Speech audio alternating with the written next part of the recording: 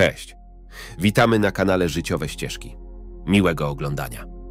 I po co było spędzać tyle lat na uniwersytecie, skoro i tak nie skończyło się na pracy w edukacji? Mama lamentowała. Wystarczy, odpowiedziała jej Urszula. Tak teraz wszyscy żyją. Nie ma w tym nic złego. Może nie jest źle, ale nie ma też wiele dobrego. Sekretarka to praca DLA głupca. Amalia kontynuowała. A ty jesteś z wykształcenia biologiem. Studiowałaś ptaki na uniwersytecie. Napisałaś taką dobrą pracę. Amalia, nie wygłupiaj się. Do dialogu włączył się ojciec. To normalna praca, papierkowa robota to poważna sprawa. Nie każdy sobie z nią radzi, a to, że wszędzie sekretarki to tylko głupie idiotki, stereotyp narzucony przez kulturę masową. Proszę bardzo, tato, dzięki za słowa otuchy. Przytuliłem Błażeja Urszuli. Poza tym nie jestem twoim jedynym dzieckiem. Stanisław to też człowiek z wyższym wykształceniem. Geolog, dostał czerwony dyplom. I co z tego? Jest szczęśliwy? Bada swoje minerały gdzieś na północy. Nie może łopatą złota przerzucać, marznie, rujnuje sobie zdrowie. A mnie jest ciepło. Płaca jest dobra. Praca nie jest przeciążona. Stanisław ma powołanie. Amalia kontynuowała. To dobry chłopak. Wybrał swoją drogę w szkole i nią podąża. Amalia, naprawdę dość. Ojciec znów interweniował. Stanisław to Stanisław, a Urszula to Urszula. Mamy różne dzieci, mają różne osobowości i aspiracje. To normalne. Nie porównujmy ich. Lepiej wspierać córkę, w końcu ma pierwszą pracę. Tak, masz rację. Urszula przyznała jej rację. Nie obrażaj się na mnie. Nie gniewam się. Po prostu bardzo się martwię.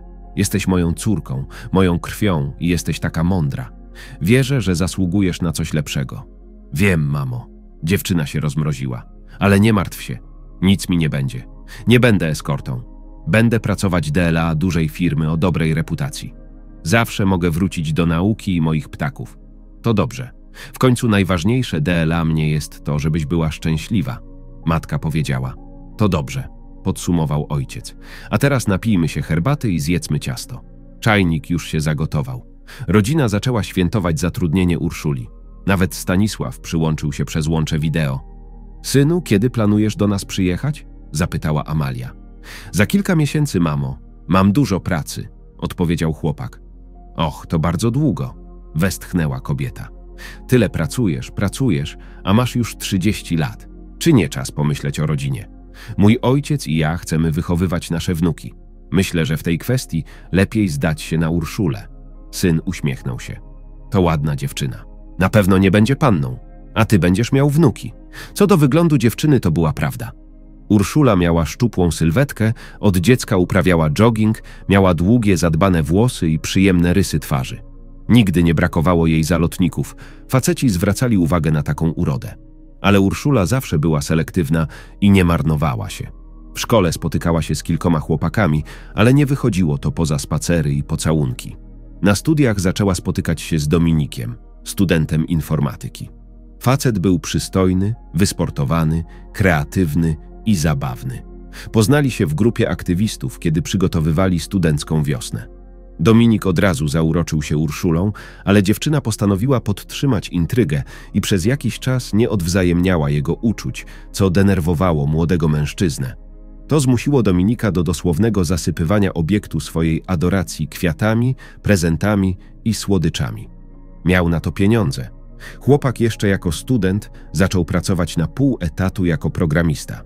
W końcu Urszula uległa. Mieli romans. Historia miłosna była ciekawa. Być może ich para była jedną z najpiękniejszych na uczelni, ale wszyscy zwrócili uwagę na zaskakujący fakt. Jak dobrze pasowali do siebie pod względem wyglądu, tak samo nie pasowali do siebie pod względem temperamentu. Urszula zawsze była powściągliwa i nieco zdystansowana, podczas gdy Dominik charakteryzował się ognistym temperamentem. Pod wieloma względami to właśnie zrujnowało ich związek. Jednym z produktów ubocznych zapału chłopaka była dzika zazdrość, a biorąc pod uwagę fakt, że Urszula była fatalną pięknością, nie było mu łatwo. Co jakiś czas podobno przyłapywał ją na flirtowaniu z innymi facetami. Dziewczyna udowadniała, że to nic takiego. Zabrało jej to mnóstwo energii. Dominik, ale wiesz, że ja tylko się wygłupiam. Jestem twoim kotkiem, pamiętasz? Ale kocham tylko ciebie i jestem ci wierna, mruknęła Urszula. Jesteś pewien, że to tylko ja? zapytał zazdrosny mężczyzna. No oczywiście, że dokładnie. Panna młoda pieszczotliwie mu odpowiedziała. No dobrze, to bierzmy się do roboty. Młody mężczyzna rozmarzał się. To dobrze.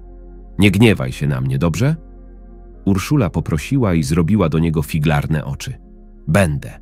Obiecuję, że już nie będę.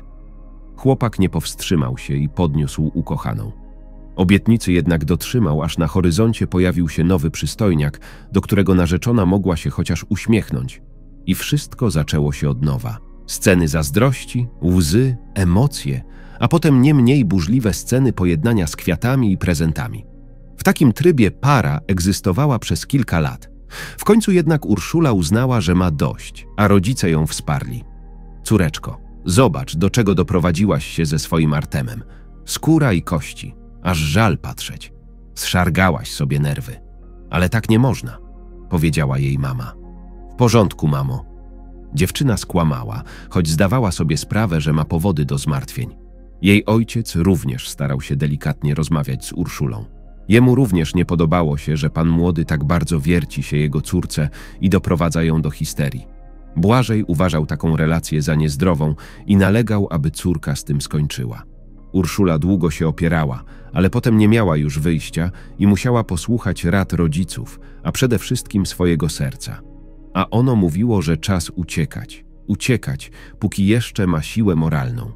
Rozmowa z Dominikiem nie była łatwa. On nie chciał zrywać. Nie uważał, że ich związek się skończył. Uważał, że jest dobrze, że jest dobrze. Myślisz, że to normalne? Niekończące się kłótnie, napady złości, skandale. Jesteśmy jak włoska rodzina, zapytała zirytowana Urszula. Tak, co w tym złego?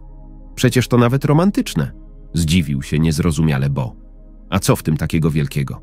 Może i dobrze, ale tylko wtedy, gdy takie wybuchy zdarzają się rzadko. Powiedziałabym nawet, że rzadko, a kiedy stają się regularne, nic dobrego z tego nie wynika, wyjaśniła Urszula. Dobrze, słyszę cię. Wynagrodzę ci to, obiecuję. Dominik powiedział. Nie da się naprawić zepsutego grobu. Słyszę to od ciebie od lat. Jestem zmęczony, Dominik. Mam już dość. Dziewczyna zakończyła rozmowę. I choćby nie wiem, co chłopak mówił, nie był w stanie jej przekonać. W głębi duszy miał nadzieję, że Urszula zmieni zdanie i wróci.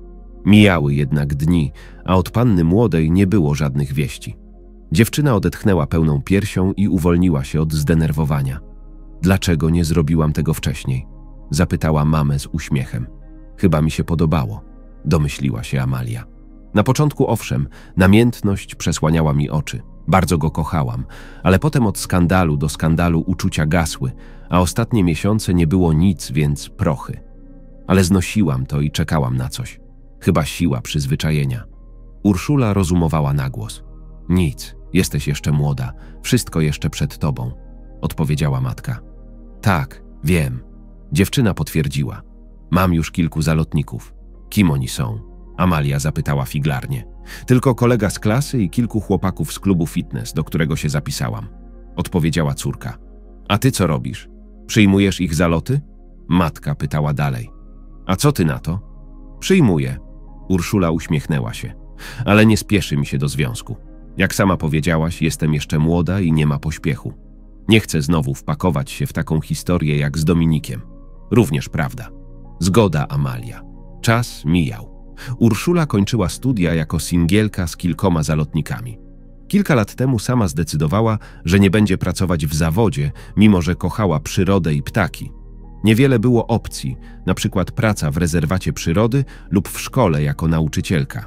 Ale to najwyraźniej nie była granica marzeń Urszuli. Na Wydział Biologii dostała się tylko dlatego, że dobrze zdała egzaminy i dostała się z budżetu. Generalnie jej rodzice chcieli, żeby ich córka studiowała na medycynie, ale żeby się tam dostać, potrzebowali bardzo wysokich ocen, a Urszula ich nie miała, ale na Wydziale Biologii było spokojnie i całkiem ciekawie. Poza tym to właśnie tam przeżyła swoją pierwszą poważną historię miłosną i choć z Dominikiem nie wyszło, to i tak to wspomnienie zostanie z nią do końca. Wielu jej kolegów z klasy podjęło dodatkowe kursy podczas studiów. Ktoś uczył się SMM, ktoś IT i od razu zmienił zawód. Niektóre dziewczyny poszły nawet do branży kosmetycznej. Na przykład nauczyły się robić manikur lub fryzury i dostały pracę w salonach kosmetycznych lub przyjmowały klientów w domu. Urszula również przez chwilę przyglądała się kursom polerowania włosów i nawet zapisała się na lekcję próbną, ale szybko zdała sobie sprawę, że to nie DLA niej. Dziewczyna ogólnie nie błyszczała intelektem, ale była inteligentna.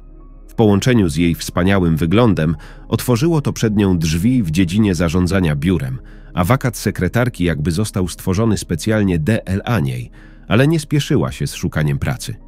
Po otrzymaniu dyplomu wyjechała na wakacje nad morze ze swoją dziewczyną. Tam zaczął zabiegać o nią miejscowy restaurator gorącej krwi. Nie przepuścił młodej piękności, wysyłał jej kosze róż, obiecywał ślub. Dlaczego Bronisławo nie miałabym skorzystać z tej propozycji i zostać tutaj? Będę żyła z pełnym wyżywieniem, nad morzem i nigdy nie zaznam smutku. To świetna opcja, powiedział żartobliwie kolega Urszuli. Daj spokój, odmachała mu. Złota klatka. Naprawdę o tym marzysz? Przecież to nudne. No właśnie nie wiem.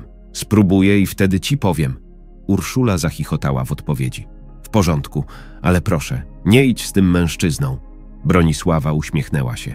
Nie martw się. Jutro musimy wracać do domu. Tam zacznę układać sobie życie osobiste. A wszystko, co było na południu, zostanie na południu, podsumowała dziewczyna. Kiedy jednak Urszula dotarła do domu, zaczęła nie od relacji osobistych, ale od pracy. Zarejestrowała się na portalu DLA poszukujących pracy i wypełniła CV. Nie miała jeszcze doświadczenia zawodowego, więc nie spodziewała się kuszących ofert. Początkowo odpowiedzi było niewiele. Przedstawiciele dużej firmy niedaleko jej domu skontaktowali się z nią. To zaskoczyło i ucieszyło Urszulę. Ubrała się skromnie, ale pięknie i poszła na rozmowę kwalifikacyjną. Dziewczyna w ogóle się nie przejmowała. Cechowała ją zaskakująco stabilna psychika. Poza tym wiedziała, że ma przed sobą całe życie i praca na pewno się znajdzie. Być może właśnie to nastawienie pomogło jej pomyślnie przejść rozmowę kwalifikacyjną. Na korytarzu zobaczyła kilka innych dziewcząt i kobiet w różnym wieku. Wszystkie wyraźnie ubiegały się o tę samą pracę. Niektóre z nich trzymały w rękach teczki, najwyraźniej z CW. Urszula nie była tym faktem w żaden sposób zażenowana.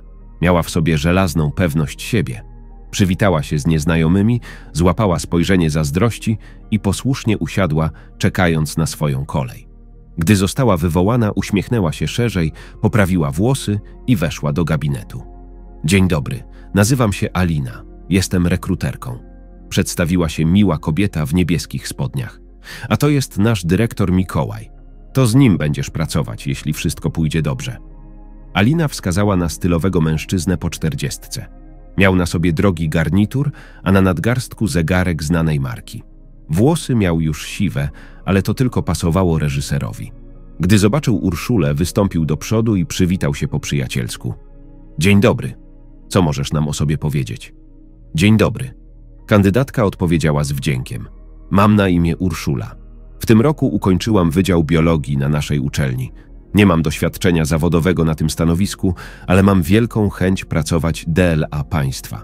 Jestem komunikatywna, uważna, uprzejma, zdyscyplinowana. Ogólnie rzecz biorąc, będziesz zadowolony. To zdanie wywołało uśmiech na twarzach Mikołaja i Wery. I co myślisz, że poradzisz sobie lepiej niż te kobiety czekające na korytarzu? Wiele z nich ma wieloletnie doświadczenie. Dyrektor zapytał. Nie wątpię w kompetencje tych ślicznotek, ale nie wątpię też we własne umiejętności. Urszula uśmiechnęła się. Cóż za dyplomatyczna odpowiedź. Mikołaj był zachwycony. Następnie razem z Aliną zadali kandydatce jeszcze kilka pytań, po czym pozwolili jej odejść, obiecując, że skontaktują się z nią później. Urszula uśmiechnęła się na pożegnanie i wyszła, niczego nie oczekując. Nie spieszyło jej się ze znalezieniem pracy. Rodzice nie nalegali, by się wyprowadziła i zaczęła żyć na własny rachunek. Wręcz przeciwnie, jej ojciec nie chciał nawet pozwolić swojej ulubienicy wejść w dorosłość. Ale sama Urszula marzyła już o tym, by w końcu zamieszkać na swoim. W tym celu szukała przede wszystkim pracy. Po rozmowie kwalifikacyjnej dziewczyna była jednak pewna, że nie zostanie przyjęta.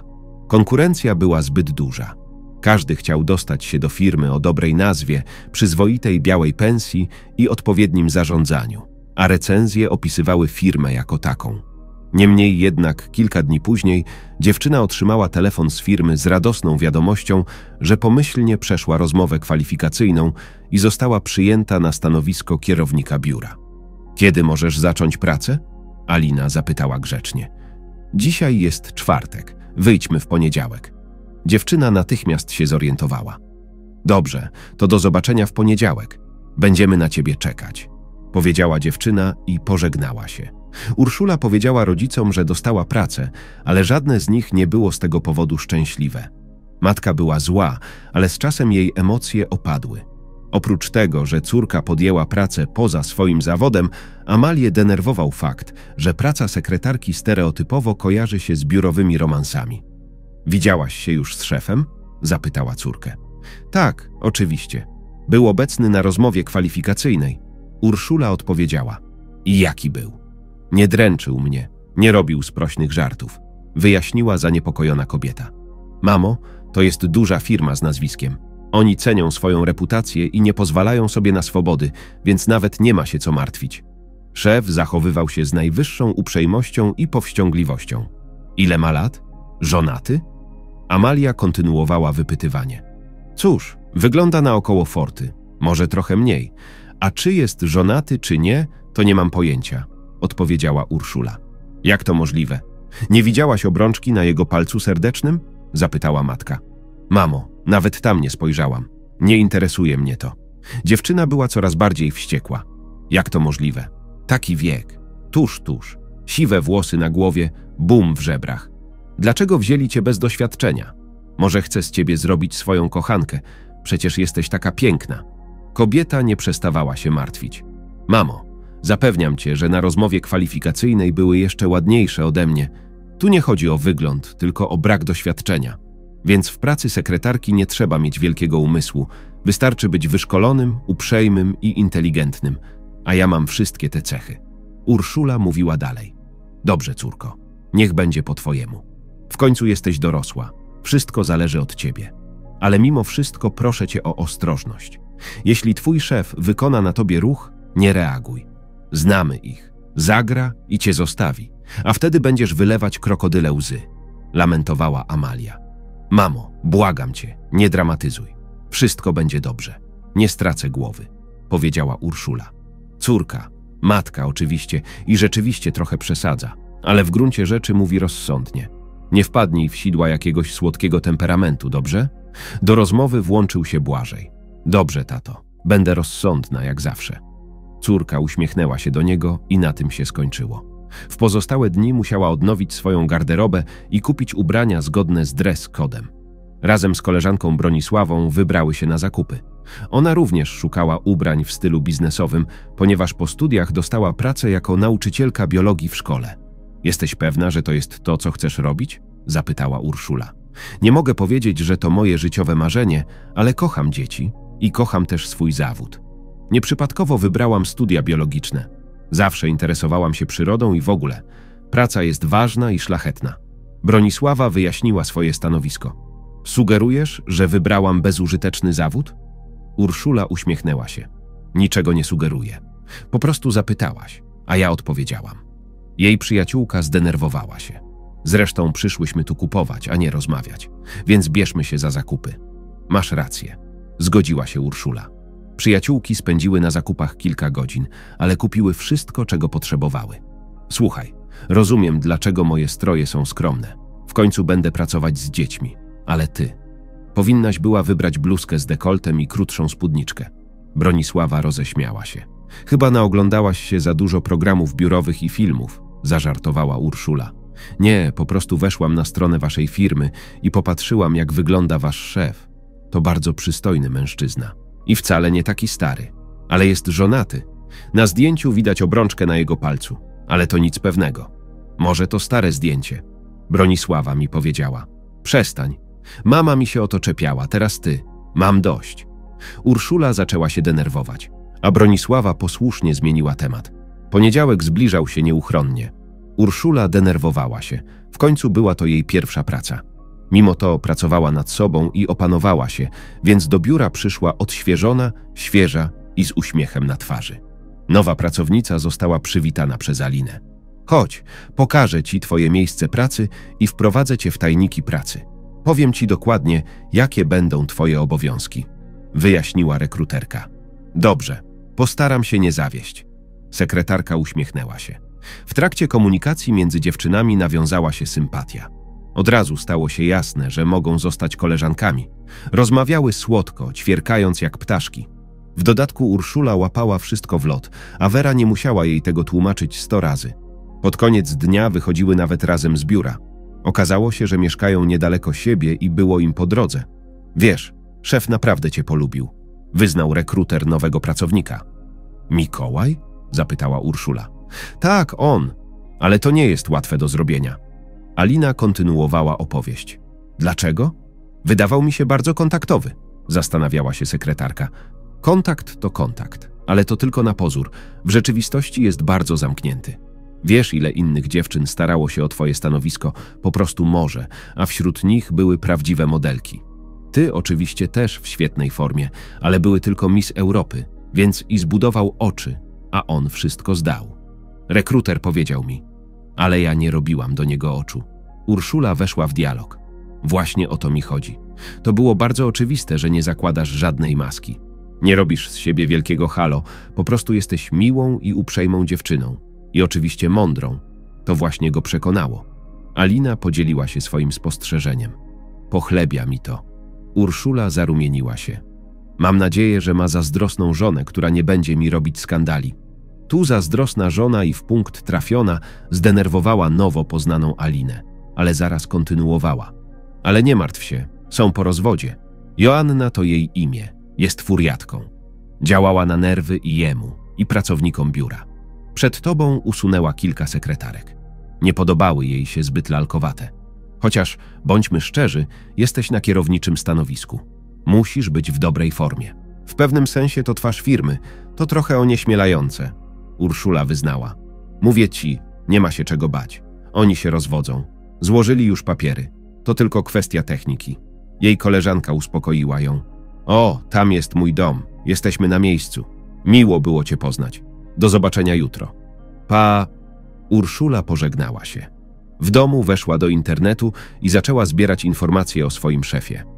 Znalazła jego portale społecznościowe i zobaczyła, że rzeczywiście jest tam zdjęcie z jego żoną, zjawiskową kobietą w jego wieku. Jednak ostatnie wspólne zdjęcie zostało opublikowane rok temu, a potem tylko zdjęcia ze spotkań roboczych lub maratonów sportowych. Najwyraźniej mężczyzna był sportowcem i poważnie interesował się bieganiem.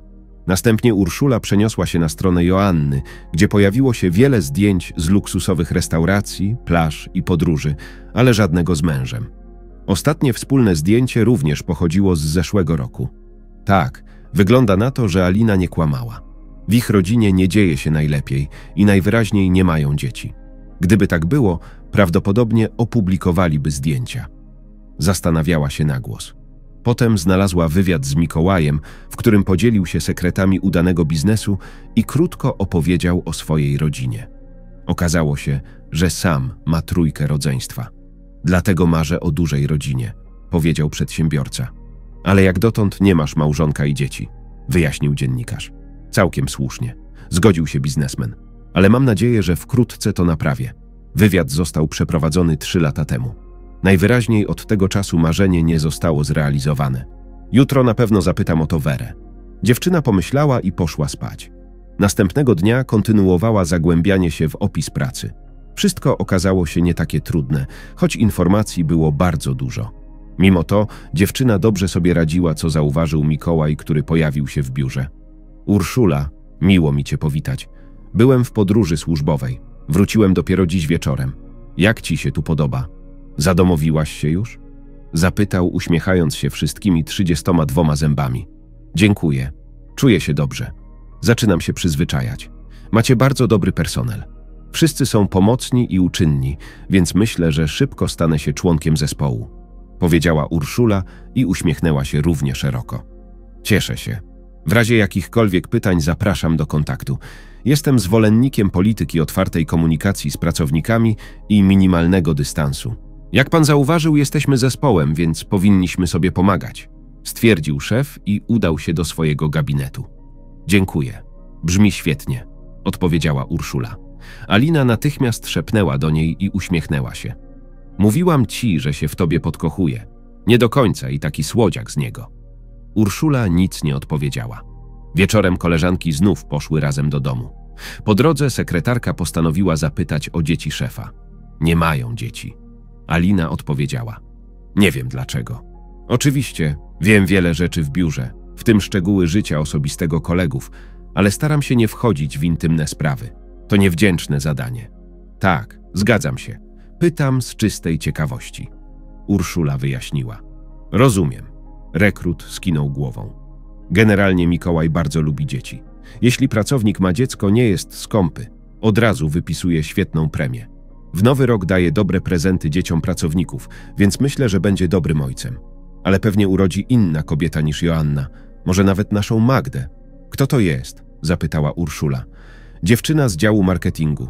Kilka lat starsza od ciebie. Pracuje od roku i po prostu pożera Mikołaja wzrokiem. Powiedziałbym, że jest agresywna. I te stroje są żenujące. Rozumiem, że chce uwieść mężczyznę, ale nie do tego stopnia.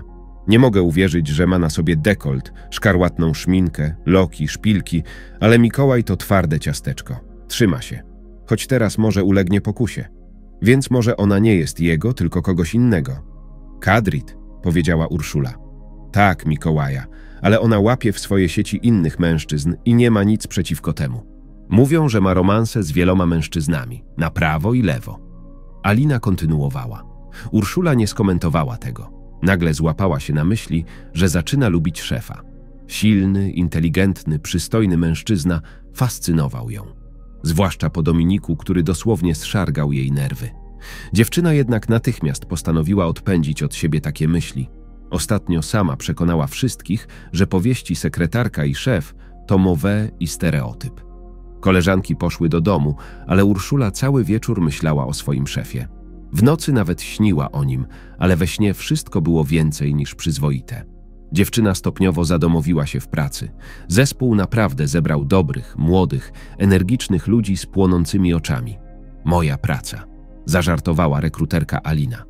Mikołaj nadal przyjaźnił się z Urszulą, ale nie pozwalał sobie na żadne swobody. Po kilku miesiącach pracy sekretarka zauważyła, że z jego palca serdecznego zniknęła obrączka. W końcu rozwiedziony. Zauważyła. Ta myśl została natychmiast potwierdzona przez Alinę. Okazało się, że szef jest teraz naprawdę wolnym człowiekiem, ale nie poszło tak gładko. Okazało się, że Joanna pozwała go o dom i samochód, choć mężczyzna na nie zapracował. Ona nic nie robiła, była kurą domową. Czyli nic mu nie zostało? Zdziwiła się Urszula. Naiwna z ciebie przyjaciółka. Alina uśmiechnęła się. Oczywiście, że ma, jest milionerem. Ma jeszcze mieszkanie w centrum, niedaleko nas i samochód. To po co się martwić? Zapytała sekretarka. Nie zabił się, ale i tak szkoda. Wiem, że włożył w ten dom całe serce i mnóstwo pieniędzy. Są dwa piętra, basen, mały ogród, łaźnia. Robiłem co mogłem, żeby go zbudować, ale wszystko poszło na tę sukę. A ona kupiła sobie lepszy samochód, a on dostał prostszy. Ale nie szkodzi. Mikołaj to mądry i pracowity człowiek. Jestem pewna, że za rok wybuduje sobie taki sam dom i kupi taki sam samochód, a może nawet lepszy, powiedziała Alina. Mam taką nadzieję. Uśmiechnęła się Urszula, która nigdy wcześniej nie miała do czynienia z takimi pieniędzmi. Gdy jednak zaczęła pracować, jej dochody znacznie wzrosły i w końcu było ją stać na wynajęcie mieszkania i wyprowadzenie się od rodziców. Wzdychali i opierali się jak mogli, ale w końcu pozwolili jej odejść. Proszę cię, żebyś nie zrobił nic głupiego, gdy będziesz odprowadzał córkę, zapytała Amalia. Oczywiście, mamusiu, nie martw się. Uspokoiła ją córka. Urszula wynajmowała malutką kawalerkę w nowoczesnym budynku naprzeciwko centrum biznesowego, w którym pracowała. Za tę samą kwotę mogłaby wynająć większą kawalerkę w starym budynku gdzieś dalej. Dziewczyna chciała jednak po pierwsze mieszkać w niewielkiej odległości od biura, a po drugie w nowym domu. Odważnie zgodziła się więc zamieszkać w bardzo małym mieszkaniu, ale za to nowoczesnym i dogodnie zlokalizowanym. W budynku były też większe mieszkania, nawet dwupoziomowe. Chciałabym mieszkać w takim. O tym właśnie marzę. Dziewczyna westchnęła podczas kolacji z Werą. Wiesz, nasz Mikołaj chyba w takim mieszka, o ile nie pomyliłam adresu, tylko nie w twoim domu. On ma wymarzone mieszkanie, a ty wymarzone. Wszystkie karty w ręce. Uśmiechnął się mój kolega. Och, daj spokój. Urszula była zakłopotana. Dlaczego nie? Ty jesteś wolną dziewczyną, on jest wolnym mężczyzną. Co cię powstrzymuje? Poza tym myślę, że z każdym dniem coraz bardziej mu się podobasz. Czasami myślę, że wpada tylko po to, żeby się z tobą spotkać. Podzielił się spostrzeżeniem z Aliną. Tak myślisz? Była zaskoczona. Mogę się mylić, ale takie odnoszę wrażenie. Podsumował rekruter. Urszula nie mogła wyrzucić tych słów z głowy. Powtarzała je przez całą noc. Jej mama zauważyła, że coś jest nie tak z córką i zapytała wprost, co się dzieje. Zakochałaś się? zapytała Amalia. Dlaczego tak myślisz? Urszula była przerażona tym spostrzeżeniem. Wyglądasz na taką szczęśliwą i rozmarzoną, powiedziała mama. Więc o co chodzi? Mam rację? No w sumie tak, przyznała dziewczyna. A kim on jest? Rodzic zapytał z uśmiechem. Mój kolega, odpowiedziała Urszula. Mam nadzieję, że nie jestem szefem? Amalia była przerażona. Nie, nie martw się, nie jest. Skłamała, żeby nie martwić mamy. To dobrze. Mam nadzieję, że ktoś na twoim poziomie i w twoim wieku. Kobieta pytała dalej.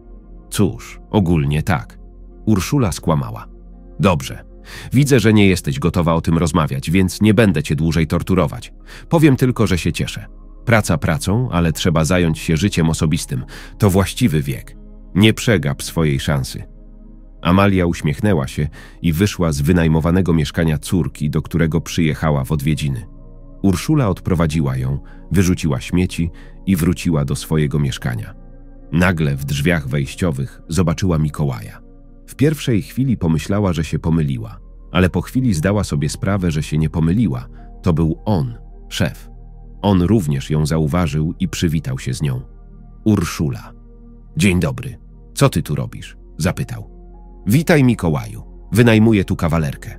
To bardzo wygodne, bardzo blisko naszego biura. Urszula uśmiechnęła się. Całkowicie się zgadzam. Sama tu mieszkam. Mam mieszkanie obok, powiedział mężczyzna. Dziwne, że wcześniej się nie spotkaliśmy. Tak, jestem tu nowy, więc to nic dziwnego. Zajęty człowiek, zajęty, podróżujący cały czas. Pewnie rzadko bywasz w domu. Tak powiedziała dziewczyna. Tak po prostu jest, ale mimo wszystko jestem. Na przykład teraz. W wolnej chwili postanowiłem wybrać prezent DLA mamy. Niedługo ma 60. urodziny. Mikołaj powiedział mi: O, masz bardzo młodą mamę. Urszula była zaskoczona. To prawda. Wcześniej mnie urodziła. Jestem najstarsza w rodzinie. Potem urodziło się jeszcze dwóch braci i siostrzyczka, wyjaśnił sołtys. To wspaniale, że masz tak liczną rodzinę. Szczerze podziwiał dziewczynę. Ale ja nie mam ani braci, ani sióstr, chociaż bardzo bym chciała. Domyślam się, że skoro dorastałaś samotnie, sama nie chcesz mieć wielu dzieci. Mikołaj uśmiechnął się. Dlaczego nie? Urszula była zaskoczona. Chcę mieć dużo, ale nie aż tak dużo, na pewno dwoje lub troje. Ale jesteś młodą dziewczyną, jeszcze wszystko przed tobą. Trochę smutno odpowiedziała szefowa. Ty też, jestem pewna, odpowiedziała. Szef wolał zmienić temat. Urszulo, jesteś w tej chwili bardzo zajęta? Chodzi o to, że chcę kupić mamie nową pralkę, ale nie znam się na pralkach. Ty musisz mieć większą wiedzę. Czy mógłbyś towarzyszyć mi w sklepie z narzędziami?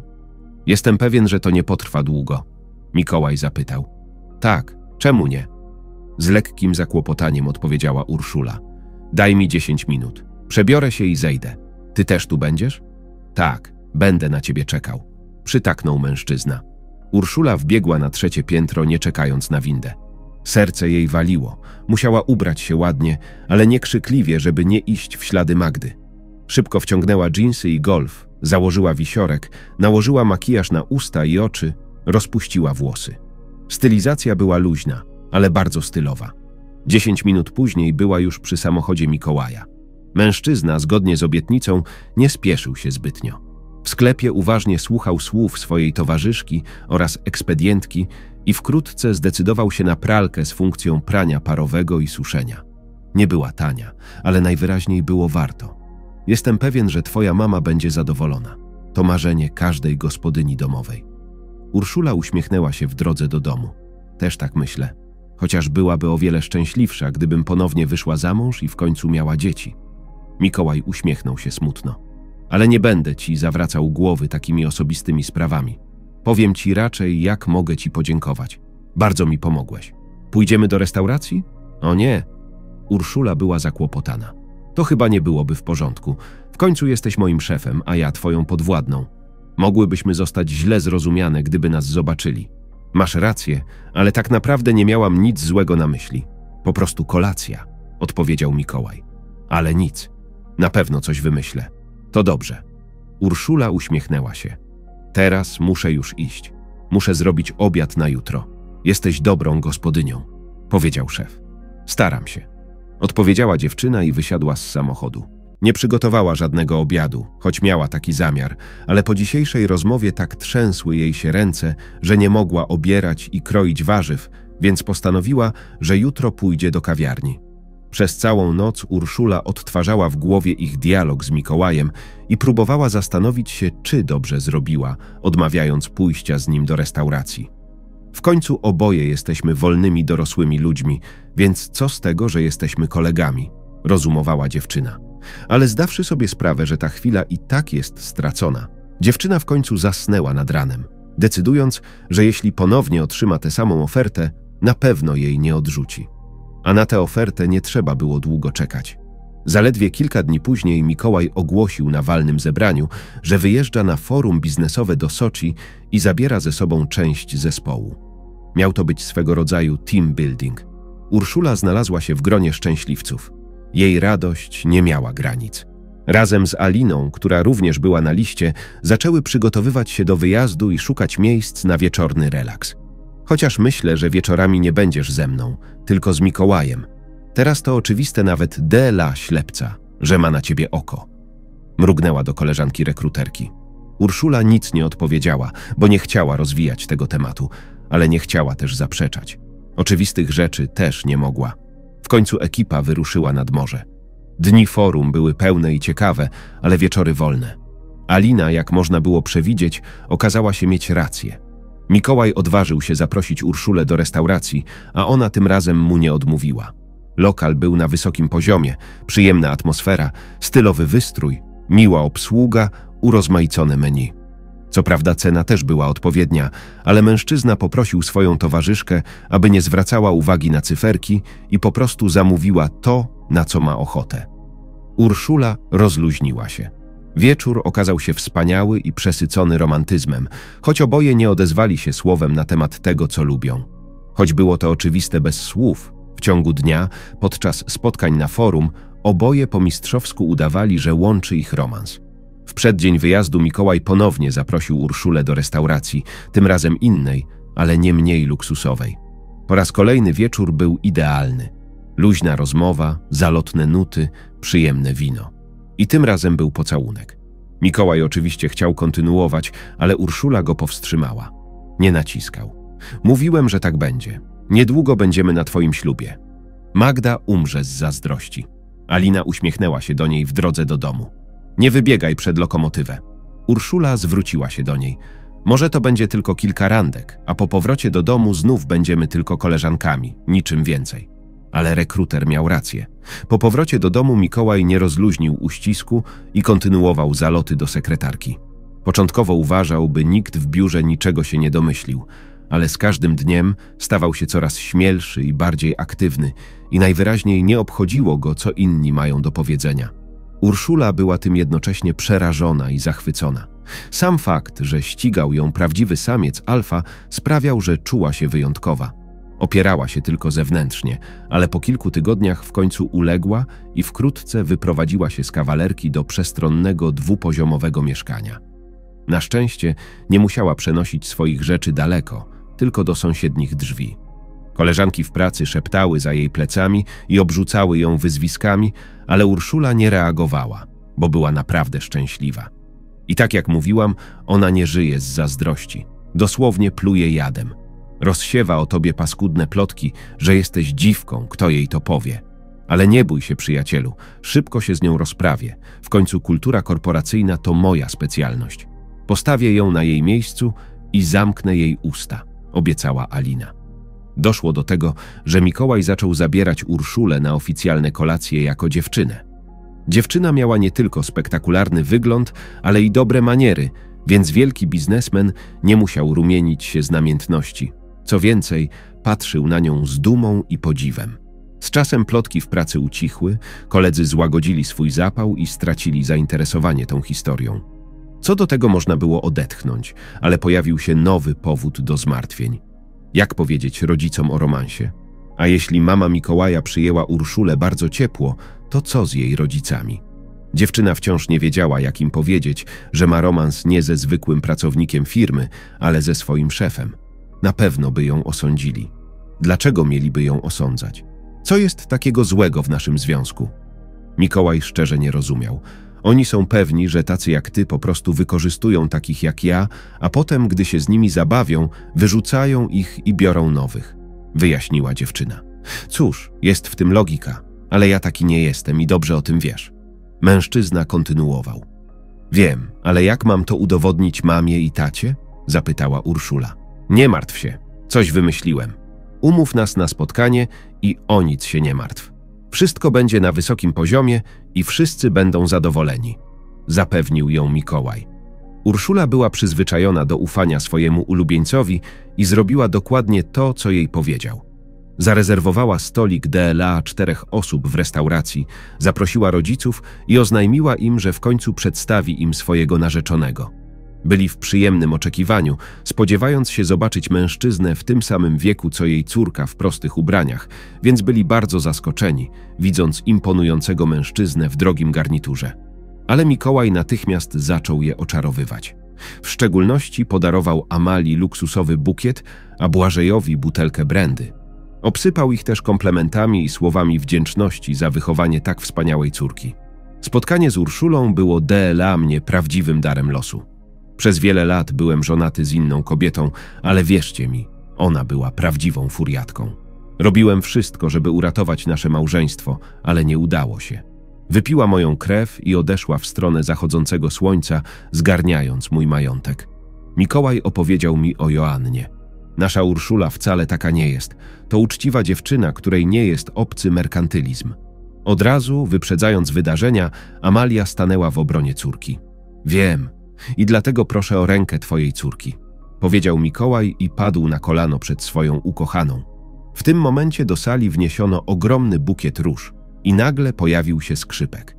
To było tak niespodziewane i romantyczne, że Urszula się rozpłakała.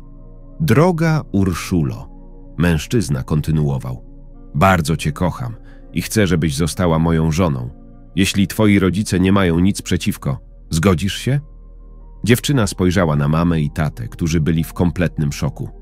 Nie spodziewali się, że wybranek jej córki oświadczy się jej w dniu ich poznania, ale ojciec szybko się zorientował. Cóż, jeśli ma się taką miłość, to czemu nie? W końcu legalne małżeństwo jest zawsze lepsze od cywilnego. Daję ci moje błogosławieństwo, córko, powiedział Błażej. Niech tak będzie. Ja też nie mogłam trzymać Amalii w swojej obronie. Hurra! Urszula podskoczyła radośnie w jednym miejscu.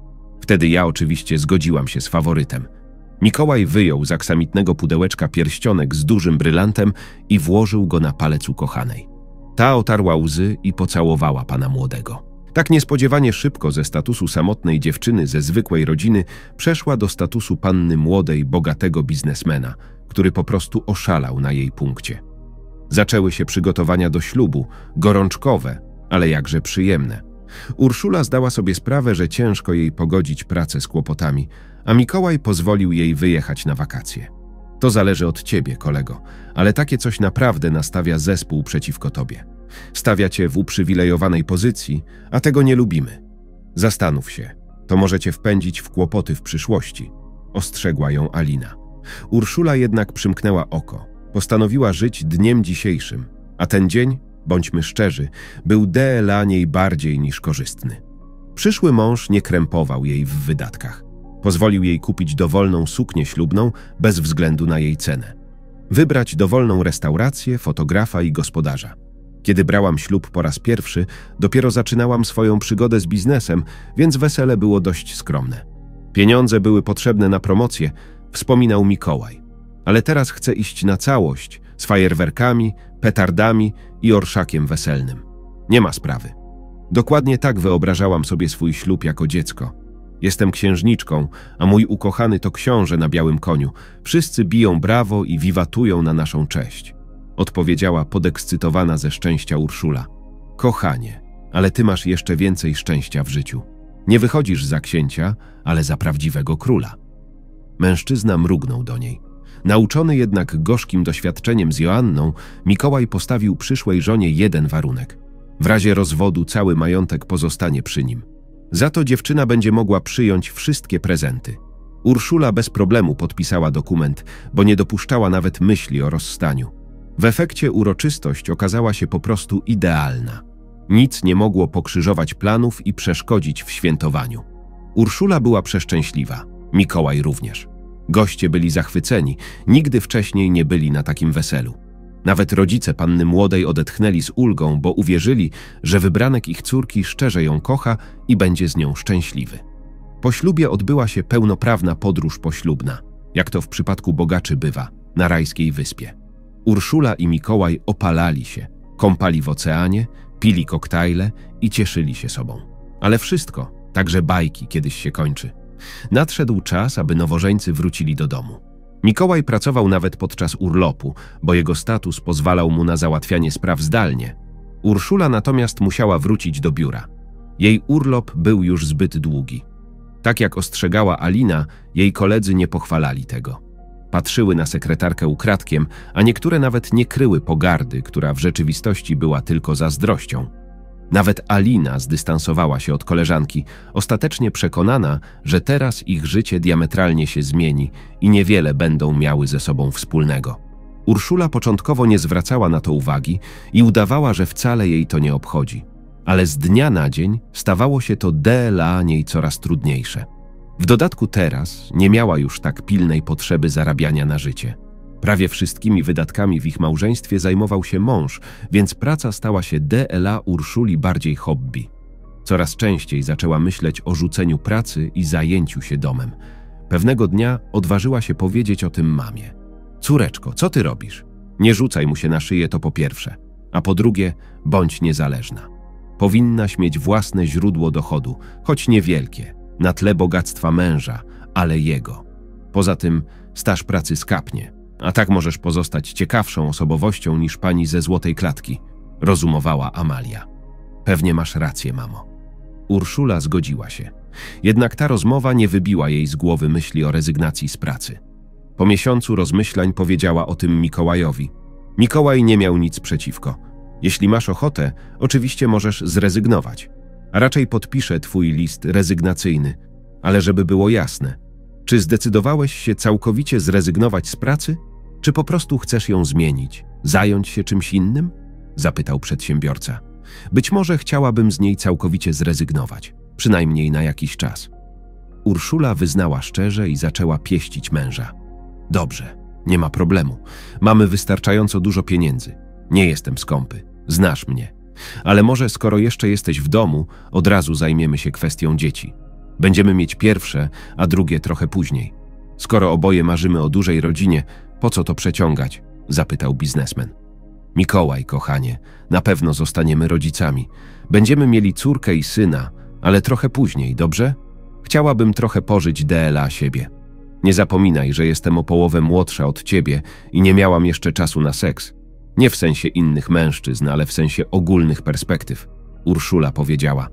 W porządku, jak chcesz, westchnął mężczyzna. Napisz jutro wypowiedzenie. Mogę cię zwolnić w jeden dzień, bez wolnego. Hurra! Dziękuję, jesteś najlepszy. Urszula klasnęła w dłonie. Następnego dnia zrealizowała swój plan i została kurą domową. Jej życie zaczęło przypominać życie bohaterek filmowych, które oglądała w młodości. Luksusowe mieszkanie, dużo wolnego czasu, bogaty i kochający mąż.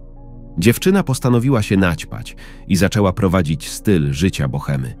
Budziła się blisko pory obiadowej, szła na siłownię, potem do salonu piękności lub na masaż. Czasami spotykała się z przyjaciółmi, ale tych w jej kręgu było coraz mniej. I nie chodzi o to, że między dziewczynami pojawiła się ogromna przepaść finansowa, ale o to, jak Urszula zaczęła się zachowywać. Stała się kapryśna, wścibska, nieobliczalna i chełpiła się pieniędzmi. Jak w popularnej młodzieżowej piosence. Mąż kupił mi tę torebkę. Mąż kupił mi tę torebkę. Mąż kupił mi tę torebkę. To odpychało od niej ludzi. Córko, myślę, że złapałaś gwiazdę. Chodź, wracaj na grzeszną ziemię. Pewnego dnia ojciec powiedział jej szczerze: Tato, co ty mówisz? Dziewczyna była oburzona. U mnie wszystko w porządku, a to, że wszyscy dookoła zazdroszczą, to nie moja wina. To nieudacznicy. Nic w życiu nie osiągnęli, a powinni się bardziej starać. Córeczko, nie poznaję cię, powiedział z przerażeniem Błażej. Źle cię wychowałyśmy z mamą, źle cię nauczyłyśmy. Stałeś się zarozumiały. Poza tym pamiętaj, że nie mówimy o twoich pieniądzach, tylko o pieniądzach twojego męża. Nie zarobiłaś ich sama. Tato, czy ty też jesteś o mnie zazdrosny? Urszula była coraz bardziej wściekła. Córeczko, życzę ci tylko szczęścia, dlatego mówię ci to teraz, żebyś później nie płakała. Daj spokój.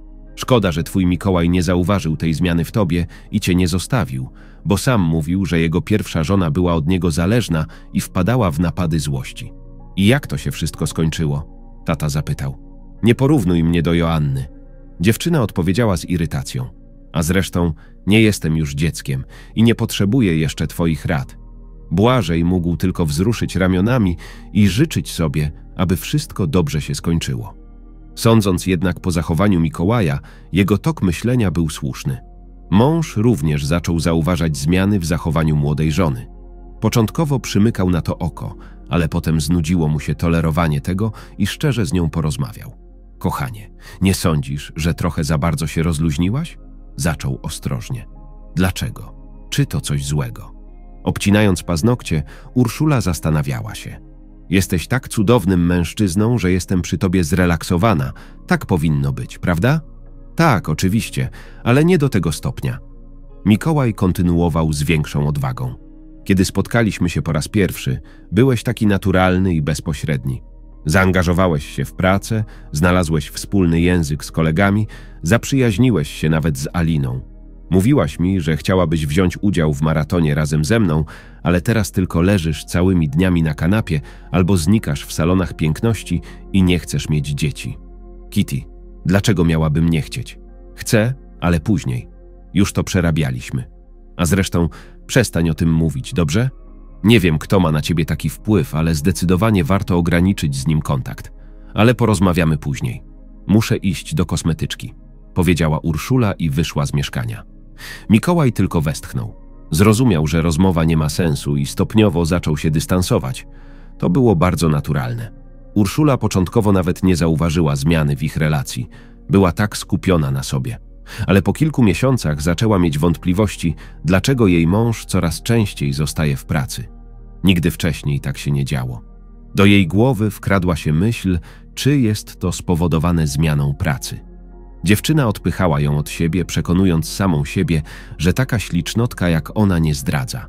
Ale potem Mikołaj zaczął dawać jej coraz mniej prezentów i komplementów, a wtedy Urszula była naprawdę spięta. Postanowiła pójść do biura i zapytać Alinę, czy jej obawy mają jakieś podstawy w rzeczywistości, czy tylko się denerwuje.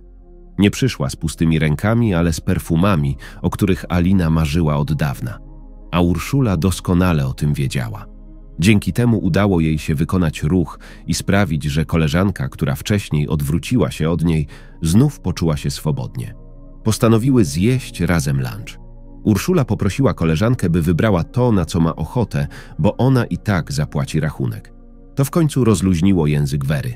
Przyjaciółko, naprawdę bujasz w obłokach i nie zauważasz zmian w zachowaniu męża? Zapytała ją przyjaciółka. Jak to? Urszula spięła się. Nie chcę zabrzmieć jak plotkara, ale ty i ja mamy coś w rodzaju zaufania, więc powiem jak jest. Alina zaczęła wyjaśniać. On cię zdradza, od co? Daj spokój. To nie może być prawda. Urszula niemal chwyciła się za serce. Mówię ci, po co miałabym kłamać? Alina kontynuowała. Pewnie mówi ci, że jest zajęty w pracy i ma opóźnienie. Tak naprawdę to wychodzi wcześniej. A widziałam w oknie, jak wychodząc z biura, wpada na stragan z kwiatami i kupuje wielkie bukiety. Powiem ci. Więc może to spotkania biznesowe z partnerkami i próbuje je poderwać. Urszula rozpaczliwie oszukiwała samą siebie. Jakbyś urodziła się wczoraj. Alina uśmiechnęła się. Takich róż nie nosi się na spotkania biznesowe. I co? Mówisz, on ma takie spotkania co drugi dzień? I co drugi dzień tak wychodzi? Wyjaśniła oszukana żona. No, praktycznie, odpowiedziała przyjaciółka. No to masz się nad czym zastanawiać. Źle się oczywiście stało, że zrezygnowałaś z nas. Przeniosłabyś się tylko na pół etatu i dalej jeździłabyś do biura. Kontrolowała piastunkę. Więc może jeszcze nie jest za późno na powrót? Urszula zapytała z nadzieją. Obawiam się, że nie. Zaraz po twoim odejściu zatrudniliśmy nową sekretarkę. Bardzo dobrze sobie radzi. Nie ma powodu, żeby ją zwalniać, a prosić ją o rezygnację z własnej woli to już przesada. Alina myślała na głos. Może on mnie zdradza z Magdą? zapytała Urszula. Nie sądzę. Mikołaj sam zwolnił Magdę jakiś miesiąc temu. Chyba miał już dość. Były kolega mi powiedział: Tak, chyba masz rację. I co ja mam teraz zrobić? Urszula była zdezorientowana. Nie wiem. Spróbuj przejrzeć jego telefon, przestudiować korespondencję. Może wtedy dowiesz się, kim jest kochanka. Kolega mi to zasugerował. Nigdy wcześniej tego nie robiłam. Urszula westchnęła. Mieliśmy do siebie zaufanie. Cóż, na wszystko jest pierwszy raz. Westchnęła Alina. No to życzę ci powodzenia. Muszę lecieć. Przerwa się skończyła. Dziękuję. Urszula podziękowała i poszła do domu. Postanowiła posłuchać rady przyjaciółki, gdy Mikołaj wrócił wieczorem do domu po treningu, choć Urszula wątpiła, czy to był trening, i poszła wziąć prysznic. Dziewczyna dostała się do telefonu małżonka, znała hasło, były urodziny jego mamy. Urszula zaczęła gorączkowo przeglądać korespondencję męża. Początkowo natrafiła tylko na rozmowy biznesowe z kontrahentami, ale potem dotarła do prywatnej. Numer kontaktowy był niepodpisany, ale widniało na nim zdjęcie rozbawionego kotka. Urszula zamarła i zastygła w miejscu. Była to intymna korespondencja, w której od czasu do czasu pojawiały się adresy i godziny spotkań na osobiste, prywatne rozmowy. Gdy usłyszała męża wychodzącego spod prysznica, odłożyła telefon. Musiała się zastanowić, co zrobić w tej sytuacji. Nie chciała wywołać skandalu. Kochanie, to co? Idziemy na kolację? Mikołaj zapytał, wycierając włosy ręcznikiem. Tak, chodźmy. Mechanicznie zgodziła się żona. Zrobiłam zupę, twój ulubiony rasolnik. Jesteś moją gospodynią. Chciałabym, żebyś robiła to za każdym razem. A dlaczego tak rzadko gotujesz? zapytał mężczyzna. Urszula nic nie odpowiedziała i poszła do kuchni nalać zupy DLA siebie i męża. Podczas obiadu nie odezwała się ani słowem. Mikołaj jadł z apetytem i również milczał. Sama gospodyni nawet nie tknęła swojej porcji. Jedzenie było już zimne, ale ona w ogóle nie miała apetytu. Dlaczego ty nie jesz? zastanawiał się Mikołaj. Nie mam ochoty, odpowiedziała Urszula. Coś jest nie tak, kochanie, zapytał jej mąż. I wtedy Urszula zalała się łzami. Pytasz mnie, czy coś jest nie tak? Jak ci nie wstyd odgrywać rolę przykładnego męża, skoro zdradzasz mnie za moimi plecami i pewnie masz więcej niż jednego kota, sądząc po zdjęciu kochanki? Powiedziała ze złością. Grzebałeś w moim telefonie? Mąż wpadł w złość. Tak, przeglądałem. Jak inaczej miałbym poznać prawdę? A może chciałeś zrobić ze mnie kompletnego głupca? Cóż, nie uda ci się. Urszula dramatycznie zakończyła swój monolog. Na tym jednak nie poprzestała. Będąc pod wpływem emocji, dziewczyna wylała pozostałą solankę na głowę męża. Ten był zaskoczony zaskoczeniem i zuchwałością żony. Urszula jednak nie przestawała szaleć. Nie pamiętała siebie w takim stanie. Podczas gdy Mikołaj oprzytomniał, ona ponownie chwyciła za telefon i zaczęła przeglądać korespondencję. Nagle natknęła się na zdjęcie testu ciążowego z dwoma paskami. Zdjęcie było opatrzone następującym podpisem. Gratulacje! Wkrótce zostaniesz tatą. Urszula zamarła w szoku, po czym przewinęła w dół, by zobaczyć odpowiedź Mikołaja. Jesteś pewna? To nie pomyłka? Zapytał. Nie, to na pewno. Byłem już u lekarza. Odpowiedział nieznajomy. Nie spodziewałem się tego. To był romans, który nie powinien doprowadzić do tak poważnych konsekwencji. Mikołaj napisał. Dlaczego mnie nie kochasz? Kobieta zapytała. Ale wiesz doskonale, że kocham swoją żonę, a z tobą mieliśmy, więc tylko zabawę. Tymczasem mamy mały dysonans w rodzinie. Od razu cię ostrzegałem. Biznesmen napisał. Chcesz, żebym dokonał aborcji? Zapytała nieznajoma. Oczywiście, że nie, Magda. Zatrzymasz dziecko, ale zrezygnujesz z pracy, żeby mniej zwracać na siebie uwagę. Upozorujemy zwolnienie, żeby nikt niczego nie podejrzewał. Ty urodzisz, a ja pomogę tobie i dziecku pieniędzmi, napisał Mikołaj. I wtedy Urszula odłożyła telefon. W końcu to była Magda. Udało ci się, powiedziała dziewczyna. Co ty mówisz? Zapytał Mikołaj, który właśnie oczyścił się z zupy. Mówię, że Magda jest szybka. Dopięła swego, załatwiła cię, wyjaśniła żona. No jak czytałaś korespondencję, to powinnaś była widzieć, że mówię, że kocham tylko ciebie i koniec. I co się stało, romans? Diabeł zbłądził. Wstydzę się, ale ty też jesteś dobry. Bardzo się zmieniłaś, odkąd się pobraliśmy. Nie wiedziałem, co robić, a Magda i jej dekolt, więc nie mogłem się powstrzymać. Ale od razu ją uprzedziłem, że daleko nie zajdziemy. Mikołaj wyjaśnił. I posłuchała cię, oczywiście. Urszula uśmiechnęła się.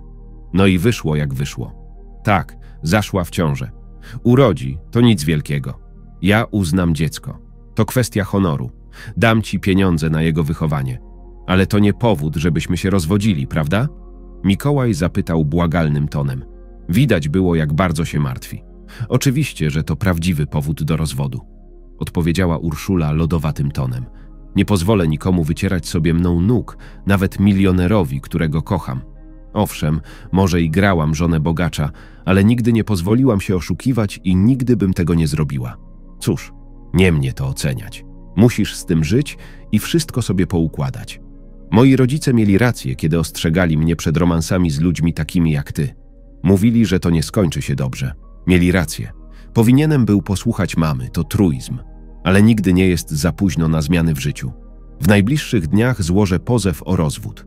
Mamy intercyzę, więc nie martw się o majątek. Niczego się nie domagam, ale zatrzymam prezenty zgodnie z umową. Dam ci jednak radę.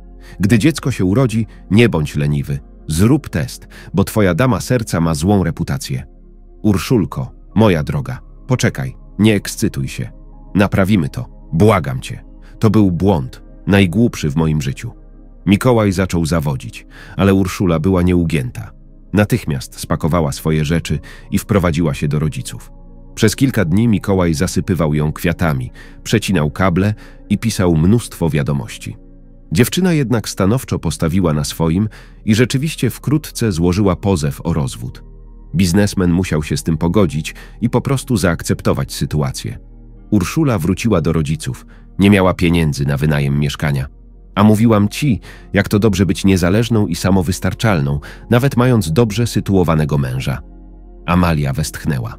Powinnam była posłuchać mamy. Urszula westchnęła. I co ty teraz zrobisz? Szukać nowej pracy? Zapytał tata. Tak, ale trochę później. Postanowiłam sprzedać część biżuterii, którą dostałam od Mikołaja i opłacić kursy. Tak naprawdę zawsze pociągało mnie projektowanie wnętrz. Praca jest kreatywna, nie jest zakurzona, można pracować w domu, ale czasem trzeba dojechać na miejsce. Będę więc studiować i spróbuję znaleźć pracę. Nie martw się, Mikołaj zawsze był hojny i dawał mi bardzo drogie prezenty, więc będę miała za co żyć przez kilka miesięcy. Urszula podzieliła się swoimi planami i jeszcze tego samego dnia zaczęła je realizować. Sprzedała biżuterię i kupiła kurs. Nauka zajęłaby jej pół roku, ale tak było najlepiej. Dziewczyna potrzebowała czasu, by zejść na ziemię, opamiętać się i uświadomić sobie, czego tak naprawdę chce od życia. Studia były DLA niej łatwe, wygodne i interesujące. W połowie kursu Urszula nagle złapała się na myśli, że szczególnie lubi projektować pokoje dziecięce i zdała sobie sprawę, że teraz jest gotowa na dziecko. Urządzę mu sypialnię, która będzie przyciągać wzrok, powiedziała mamie. Wszystko się spełni, córeczko, zobaczysz. Zachęcała ją Amalia. Mikołaj chciał mieć dzieci i poprosił cię o nie. Och, przegapiłam swoją szansę, lamentował Błażej. Tato, przestań. Urszula zatrzymała go, starając się nie pamiętać o byłym mężu, ale on nie opuszczał jej umysłu i serca. Błażej, co ty tak naprawdę mówisz? Nie dolewaj soli do rany. To już zostało odcięte. Musimy pomyśleć, jak iść dalej. Amalia zgodziła się. Może wcale nie jest odcięta.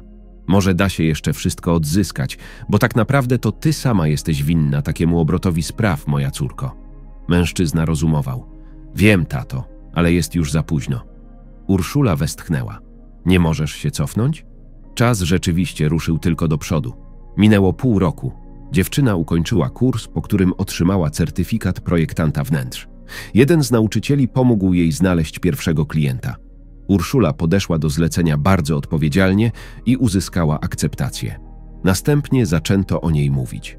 Niektórzy klienci chwalili ją swoim znajomym, którzy prosili o usługi i przekazywali kontakty innym znajomym.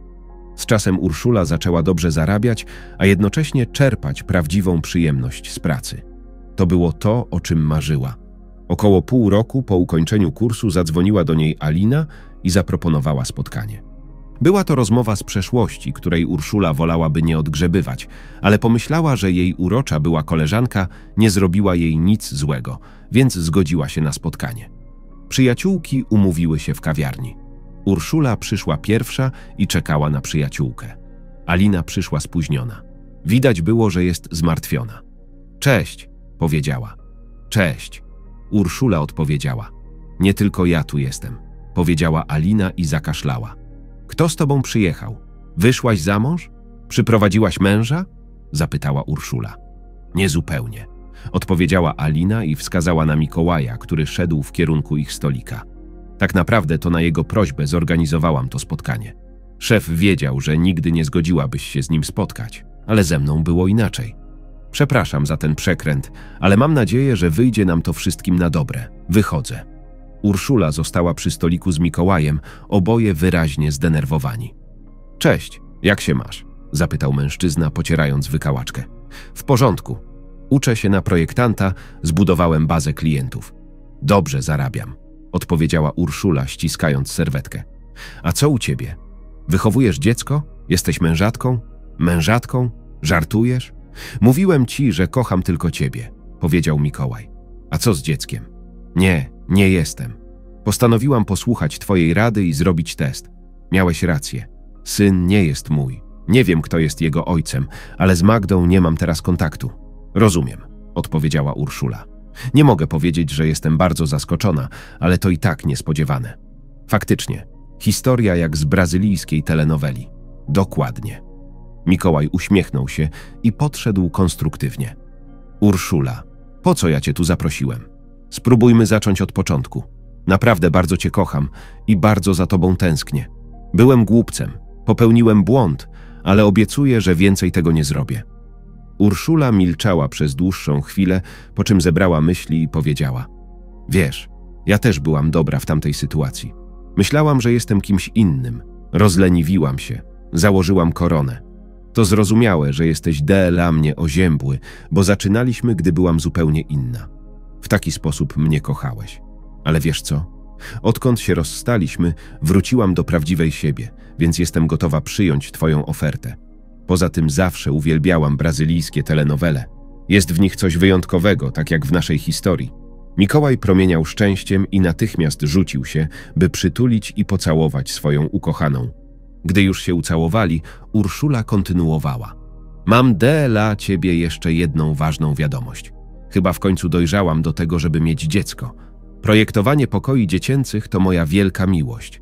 Marzę o takim DLA mojego dziecka. To po prostu wspaniałe. Właśnie w tym roku wybudowałam dom. Nie tak duży jak ten pierwszy, ale jednak bardzo przestronny i przytulny. I oczywiście przeznaczyłem kilka pokoi DLA dzieci, aby mieć dużą i przyjazną rodzinę, o której marzyłem od dawna. Mikołaj uśmiechnął się. W takim razie proponuję nie zwlekać i już teraz zabrać się za ich urządzanie. Urszula zaśmiała się głośno w odpowiedzi, ale ruszyła za byłym mężem, który kilka minut temu zyskał status przyszłego. Co tam brazylijskie seriale, rozumowała sobie dziewczyna. Życie czasem podsuwa takie scenariusze, o których nie śniłoby się żadnemu filmowcowi. I to jest właśnie zachwycające.